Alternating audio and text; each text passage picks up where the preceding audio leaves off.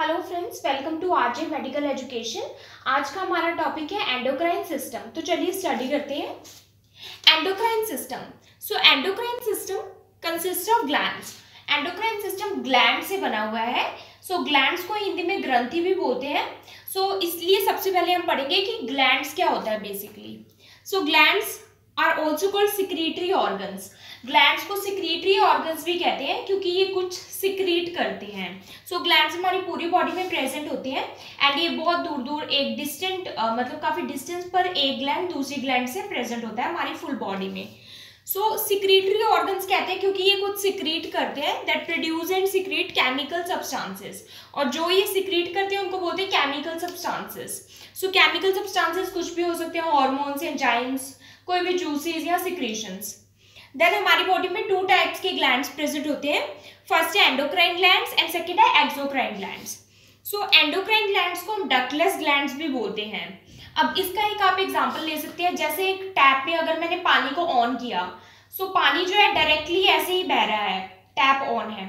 तो उसका मतलब हुआ डकलेस कि कुछ भी आगे मैंने पाइप पाइप या कुछ भी अटैच नहीं किया टैप में। अब एंडो एक्सोक्राइन ग्लैंड्स क्या होता है? ये डक्ट्स के थ्रू अपनी सिक्रीशंस को छोड़ते हैं। अब उसी टैप के आगे अगर मैं एक पाइप लगा दूँ सो वो जो पानी है वो पाइप के थ्रू जाएगा। सो एक्सोक्राइन ग्लैंड्स उसी तरह से फ़ंक्शन करती हैं। सो एंडोक्राइन ग्लैंड्स अपने हॉर्मोन्स डायरेक्टली ब्लड में छोड़ते हैं। कोई भी डक्ट के थ्रू ये नहीं छोड़ते, इसलिए इनको बोलते हैं डकलेस ग्लैंड डायरेक्टली अपने डायरेक्टली ब्लड स्ट्रीम में ही अपने हॉर्मोन्स को सिक्रीट करते हैं। जो एक्सोक्राइन ग्लैंड है वो डक्ट्स यूज़ करते हैं टू सिक्रीट देयर सब्सटेंसेस अपने सब्सटेंसेस को छोड़ने के लिए कोई पैसेज या डक्ट्स यूज़ करते हैं। जैसे कि ये अपने सिक्रीशंस uh, को छोड़ते हैं जीआई ट्रैक में गैस्ट्रोइंटेस्टाइनल ट्रैक में रेस्पिरेटरी एपिथेलियम में या स्किन में। So there are two types of glands so अब हम पढ़ेंगे एंडोक्राइन ग्लैंड्स क्या करती हैं। So endocrine gland secrete hormones मैंने पहले भी बताया कि एंडोक्राइन ग्लैंड्स हार्मोन सिक्रीट करती हैं। एंड हार्मोन्स का अनदर नेम है chemical messengers that act on the target tissue and organs where they influence cell growth and metabolism so ये एंडोक्राइन ग्लैंड्स क्या करती हैं? हार्मोन्स को सिक्रीट करती हैं। अब जो टारगेट टिश्यू है टारगेट टिश्यू या सेल का वो मतलब है जहाँ पर कोई एक्शन परफॉर्म होना है।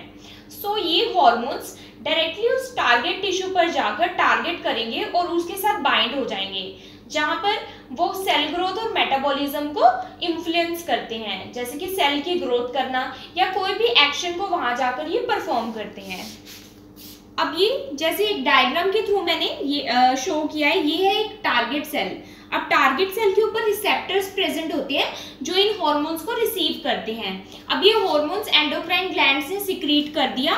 सो जहाँ पर टारगेट सेल जहाँ पर ज़रूरत है इस हॉर्मोन की वहाँ ये हार्मोन जाके रिसेप्टर के ऊपर बाइंड हो जाएगा और अब ये हार्मोन वहाँ पर सेल ग्रोथ और मेटाबॉलिज्म को इन्फ्लुएंस करेगा। सो so, ये हॉर्मोन्स क्या होते हैं? In response to specific stimulus सबसे पहले सेल से इनको कोई स्टिमुलस मिलता है तब ये रिलीज़ होते हैं। Arrive at target tissue target tissue पर पहुँच जाते हैं अराइव हो जाते हैं। Bind to specific receptor receptor के साथ बाइंड हो जाते हैं एंड देन वहाँ पर अपना एक्शन परफॉर्म करते हैं। अब जब तक ये एक्शन कंप्लीट नहीं हो जाता, तब तक ये हॉर्मोन्स का रिलीज़ होता रहता है। उसको बोलते हैं पॉजिटिव फीडबैक मैकेनिज्म अब जैसे ही एक्शन खत्म हो गया तो एक्शन रिवर्स हो जाता है, उसको बोलते हैं negative feedback mechanism now hormone का रिलीज़ होना और हार्मोन का बंद होना, यानी स्टॉप होना, दो तरह से होता है। दो मैकेनिज्म होते हैं। एक होता है पॉजिटिव फीडबैक मैकेनिज्म एंड एक होता है नेगेटिव फीडबैक मैकेनिज्म तो इसको पढ़ेंगे। सो फ़र्स्ट है positive feedback mechanism so positive नाम से ही पता चल रहा है, जब तक एक्शन कंप्लीट नहीं होता, तब तक हार्मोन का रिलीज़ होता रहेगा।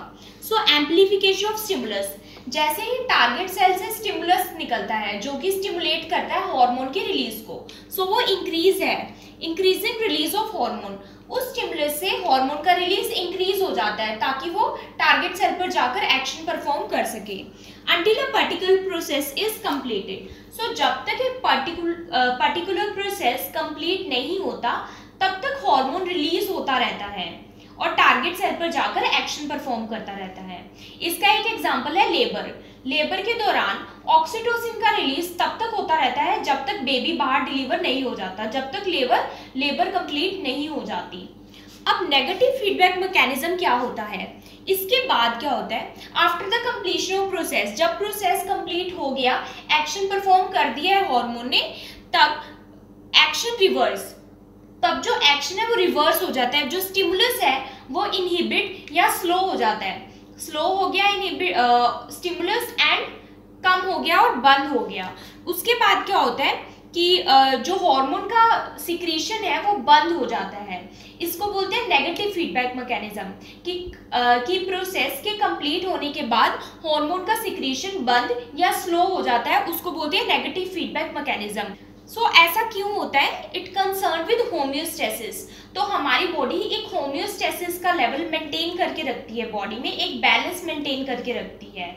बहुत ज़्यादा सिक्रीशन के बाद हार्मोन की बहुत ज़्यादा सिक्रीशन हमेशा ना बनी रहे इसलिए नेगेटिव फीडबैक मैकेनिज्म हमारी बॉडी में प्रेजेंट है। सो so, दोनों ही मैकेनिज्म चलते हैं positive feedback mechanism and negative feedback mechanism simultaneously now different endocrine glands in the body हमारी बॉडी में अलग अलग रीजन्स पर कौन कौन सी एंडोक्राइन ग्लैंड्स पाई जाती हैं? आई होप ये डायग्राम आपको समझ आ जाएगा। सो so, सबसे फ़र्स्ट है pineal gland so pineal gland या पीनियल ग्लैंड बहुत ही स्मॉल साइज़ की होती है। ये थर्ड वेंट्रिकल जो ब्रेन में प्रेजेंट होता है वहाँ पर उसकी रूफ में प्रेजेंट होती है। So very small in size then है pituitary gland so pituitary gland बहुत इंपॉर्टेंट है, इसको मास्टर ग्लैंड भी कहा जाता है। ये हाइपोफाइजिल फोसा एक रीजन होता है स्फिनॉइड बोन का, वहाँ पर प्रेजेंट होती है बिलो द हाइपोथैलेमस सो इसको पिट्यूटरी ग्लैंड को मास्टर ग्लैंड भी बोला जाता है। इसके दो लोब्स होते हैं mainly anterior pituitary and posterior pituitary बीच में एक इंटरमीडिएट लोब भी प्रेजेंट होता है। इसको मास्टर ग्लैंड इसलिए बोलते हैं क्योंकि ये काफ़ी सारे अदर ग्लैंड्स की एक्टिविटीज़ को भी कंट्रोल करती है। Then thyroid gland and parathyroid gland ये हमारे नेक रीजन में लैरिंग्स के सामने पाया जाता है। Parathyroid and thyroid gland so thyroid gland के भी टू लोब्स हैं एंड इसकी बैक साइड पर थायराइड ग्लैंड के पीछे फोर पैराथायरॉयड ग्लैंड्स प्रेजेंट होती हैं। देन है चेस्ट रीजन में थाइमस ग्लैंड सो जो मीडिया स्टेनम एक रीजन होता है जिसमें हार्ट प्रेजेंट होता है सो मीडिया स्टेनम जो स्पेस है उसके बैक साइड में प्रेजेंट होती है थाइमस ग्लैंड देन है left adrenal gland adrenal gland हमारे किडनीज के ऊपर प्रेजेंट होती है. सो so, दो एड्रीनल ग्लैंड है हर किडनी लेफ़्ट के ऊपर लेफ़्ट एड्रीनल ग्लैंड प्रेजेंट होती है राइट किडनी के ऊपर राइट एड्रीनल ग्लैंड प्रेजेंट होती है. देन है पैंक्रियाज जो स्टमक के साइड में प्रेजेंट है पैंक्रियाज इसमें भी मेनली एंडोक्राइन पैंक्रियास इसमें सेल्स प्रेजेंट होते हैं पैंक्रेटिक आइलेट्स जो कि हॉर्मोन्स को रिलीज़ करते हैं। देन हमारे रिप्रोडक्टिव रीजन्स में आते हैं ovaries in females and testis in males so females में टू ओवरीज होती हैं, ये भी हार्मोन सिक्रीट करती हैं and two testis in males so ये थे different endocrine glands in the body thank you for watching my video अगर आपको ये वीडियो समझ आए सो please like subscribe and share my channel and please do support women empowerment